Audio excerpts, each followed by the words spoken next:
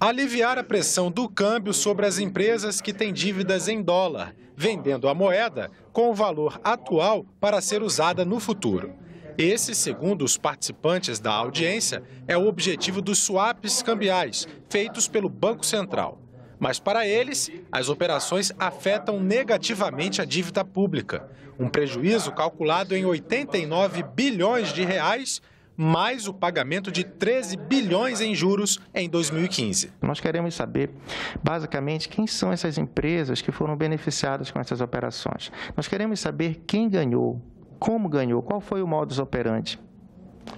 E isso você só vai saber a partir do momento que você tem um Banco Central disposto a prestar essas informações. Para eles, a suposta vantagem de fortalecer as empresas não compensa a pressão sobre a dívida pública, que já chegou a 70% do produto interno bruto, o que aumenta o risco Brasil.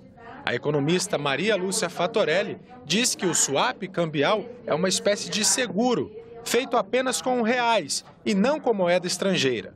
Para ela, ao fazer essas operações, o Banco Central está atuando ilegalmente e de maneira especulativa. Não existe lei autorizando nem o Banco Central fazer seguro dessas operações e muito menos a especular e garantir essa variação.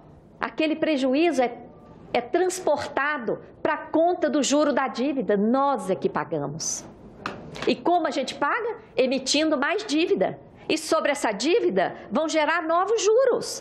E agora a PEC 55 quer amarrar todas as despesas primárias para destinar mais recursos para juros e para essa farra do swap cambial. O Banco Central foi convidado para a audiência, mas não enviou representante, o que foi criticado pelo senador João Capiberibe. Ele cobrou mais transparência nas atividades do mercado financeiro.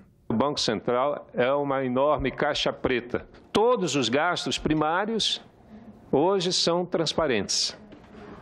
Nós temos a possibilidade de acessar em detalhe esses gastos.